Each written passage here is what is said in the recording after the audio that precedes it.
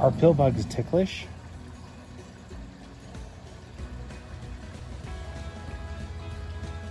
Not really. They just want to go home.